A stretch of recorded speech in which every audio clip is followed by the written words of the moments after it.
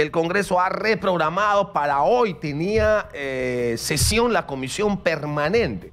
La comisión permanente iba a aprobar el informe final, que es el paso penúltimo de la acusación constitucional por traición a la patria contra el presidente Castillo. Eh, debía ir su abogado, si quería el presidente podía ir también.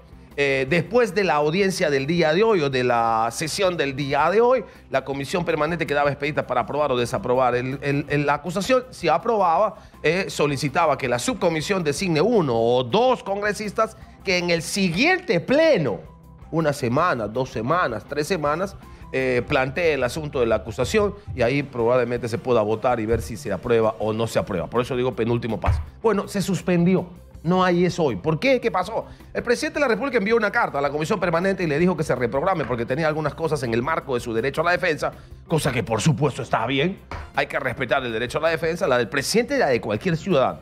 Y el Congreso ha dicho, ok, perfecto, reprogramamos. Venga, presidente, levante toda la información que quiera, lea, porque lo que ha pedido leer el informe de la subcomisión. Y el día viernes hay la audiencia de la, perdón, la sesión en la comisión permanente y si quiere usted se presenta o se presenta a su abogado. Así que no hay comisión permanente hoy para revisar este tema.